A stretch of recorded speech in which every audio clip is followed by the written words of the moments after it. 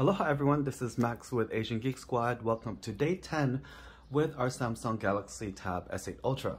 I just realized I have not done any videos in a week and I am so sorry about that. I have been spending too much time at the beach. For today we're going over two things. One is LumaFusion and number two are three DeX tips which I think are very important. Alright, let's go ahead and jump right in first up with LumaFusion. During the Samsung Unpacked event, LumaFusion was announced to be coming to the Tab S8 Ultra. This is a screenshot from my iPad Pro. So unfortunately, LumaFusion is not here yet for the Tab S8 Ultra. In the announcement, they said LumaFusion was coming and had this great automation and all this video about what LumaFusion can do. One thing that of course they don't show you is the fine print. Here is the close-up of the screenshot. LumaFusion for Android will be available at the Galaxy Store in 2022 with Android 11 or higher app purchase required. Service availability and supporting languages may vary by country. Actual UI may be different. Requires setup of OneDrive syncing on your Galaxy device. Dual front camera is only available for Galaxy Tab S8 Ultra. So unfortunately, LumaFusion is not available yet on the Play Store or the Google Play Store. And one thing that sounds interesting is it's coming to the Galaxy Store. And so you might not even need a Galaxy Tab S8 Ultra. It might also work with other Galaxy Tabs running Android 11 or higher. So maybe even the Tab S7, S7 Plus. If you have an older device, you might be able to partake in LumaFusion as well, but unfortunately coming in 2022. And on my blog, written on the Tab S8 Ultra, there's even an official statement from LumaFusion 2022. Honestly, it's in closed alpha right now. I don't think it's coming until the end of the year. Alright, so here we are for DeX tips. And one of the things I didn't share with you guys, um, I got a comment this morning that if you turn on Auto DeX on HDMI connection, you can have DeX on one screen and tablet and use it normally. Everybody should use this. I've been using this setting for about a week now and I'm sorry I didn't share it sooner. You turn this on, go ahead and just go to setting, go to advanced features, Samsung DeX, and turn on auto start when HDMI is connected.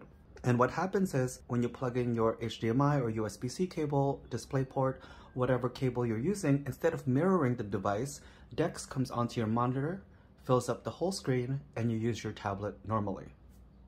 All right, so that's tip number one. Tip number two, mouse pointer. This sounds kind of weird. Why would you want, why would I give a tip on mouse pointer? Mouse by default is a tiny little white arrow and when you have a when you connect this to a larger device such as a 32 inch curved display tablet sometimes it's easy to lose the mouse. So what you're going to do is go ahead and tap on general management under settings go into mouse and trackpad and from here just click on mouse size pointer size and color excuse me. And from here you can change the size all the way to large which is enormous or you can just simply change the color. There are seven preset colors that you can choose from just to make it stand out more depending on which background you're using. So I'm gonna go ahead and choose this blue-green color. And finally, the last tip I'm gonna share today is under DeX again. And basically what this will allow you to do is use the same mouse and hover between the tablet and DeX and this is after you've set up the HDMI connection. So you're gonna have to do this on the DeX section of the external monitor. You can't actually do this under your tablet. Go into advanced features, go ahead and tap on Samsung DeX. And from here, go ahead and tap on mouse and trackpad. And next, you're gonna tap on flow pointer to tablet screen. Go ahead and turn that on. Once you turn this on, basically means that you can drag the pointer from your DeX to your tablet back and forth. Now I have my tablet on the left side of the monitor, so I have mine selected from left side of the monitor.